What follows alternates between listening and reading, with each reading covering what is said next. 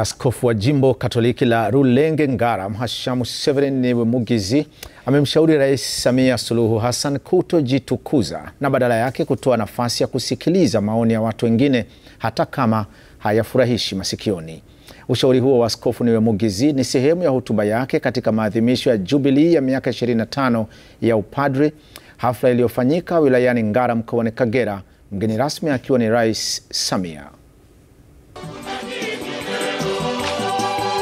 Mbele ya rais, waumini, mapadri, masista, viongozi wa serikali na maaskofu wenzake, Askofu Mugizi anakiri kukutana na vikwazo katika huduma yake ya kiroho kwa miaka ishirini na mitano, lakini unyenyekevu na uvumilivu ndiyo silaha iliyomvusha, ushauri anaompa pia Rais Samia.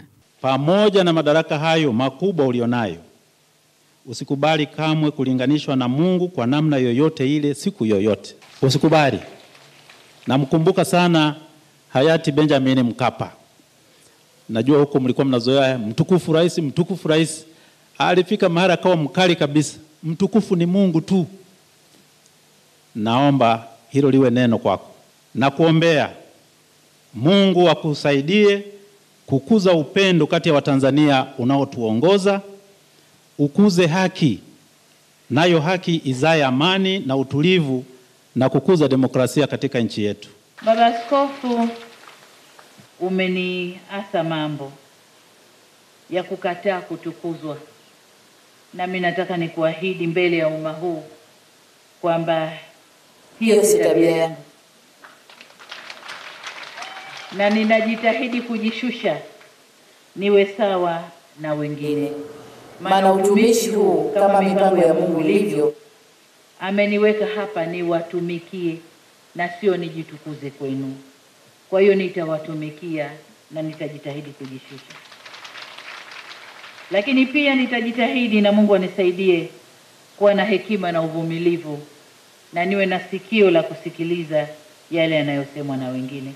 Sauti ya viongozi wa dini kumwakilisha Mungu kwa watu ni miongoni mwa hoja zilizopewa uzito katika tukio hili na kwamba haipaswi kunyamazishwa kwa kisingizio cha kuchanganya siasa na dini. Mara nyingi tunapojisemesha semesha, ah, mmekuwa wanasiasa. Hapana, sisi ni sauti ya Mungu inatumwa kuwaombelea watu wote. Ni wajibu wetu kuikemea na kuonya pale watu wanapokengeuka. Nimefurahishwa sana na kauli ya Baba Askofu kwamba nyinyi viongozi wa dini ni sauti ya Mungu katika jamii. Kwa hiyo ni, ni, ni shukuru hilo, lakini niombe sana zile sauti zetu zitumike kukemea na kuonya pale mnapoona watu wanakengeuka na kufundisha pale mnapoona watu hawaishi maisha yanayompendeza Mungu katika nyanja zote, kidini, kijamii, kisiasa, kitamaduni na kiuchumi.